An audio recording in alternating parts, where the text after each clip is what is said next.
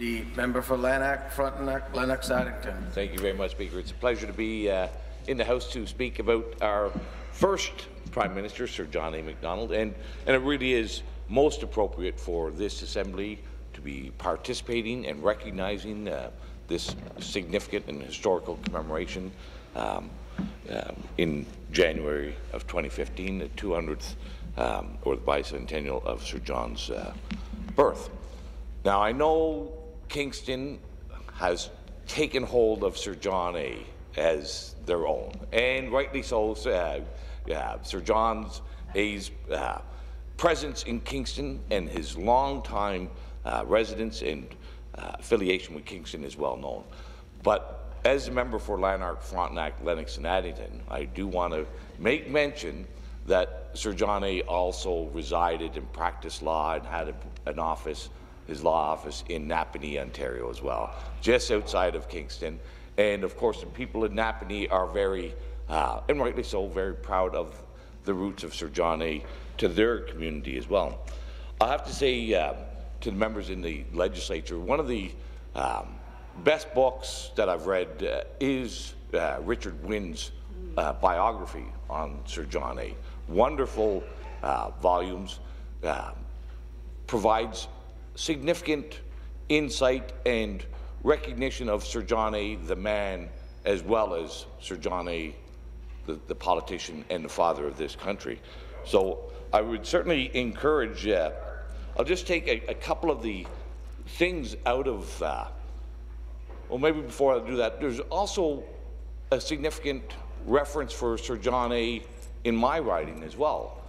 Um, although everybody recognizes and that Sir John A. was the founding father of this country, and we all know the big things that he's done or had done, um, there's a lot of other little things that aren't so well known in our history of Sir John A. Macdonald. And just to give you uh, one of the great constitutional battles that Sir John A. Macdonald was involved in um, happened in my riding in in the county of Lanark, and that was the um, that significant federal provincial dispute between Sir John A. Macdonald and uh, Sir Oliver Mowat. Uh, and of course, Sir Oliver Mowat had been Sir John A.'s apprentice lawyer at his offices in Kingston in Napanee. He went on to become uh, Liberal Premier of Ontario. And uh, Sir Oliver and Sir John had some legendary disputes over uh, political jurisdictions. And one of them happened in Lanark County um, on the Mississippi and the Clyde rivers. It was over property rights.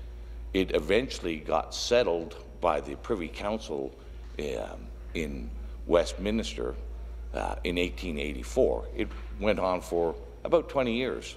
Um, but the outcome of that was a recognition of provincial rights on, on property rights, provincial jurisdiction on property rights, and the Rivers and Stream Act of 1884.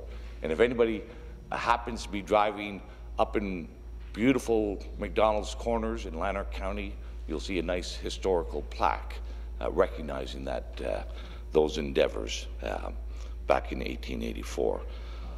There's although this assembly is indeed, and everybody here, we are a legacy of Sir John A. Macdonald. His determination and perseverance and his ability to bring uh, people together has resulted in this country, this province, this assembly, and all of us here. Right? Um, but I think, you know, again, reading back through those history books of I don't think Sir John A. would recognize the political parties of today and the elected representation today as compared in his times. Uh, I don't know, uh, one of the, uh, when he was often asked what his occupation was, he would put down cabinet maker, um, which is quite a uh, creative use uh, um, um, and, and that is what he, he did. He cobbled together and crafted um, collaboration and allegiances um, and brought people together.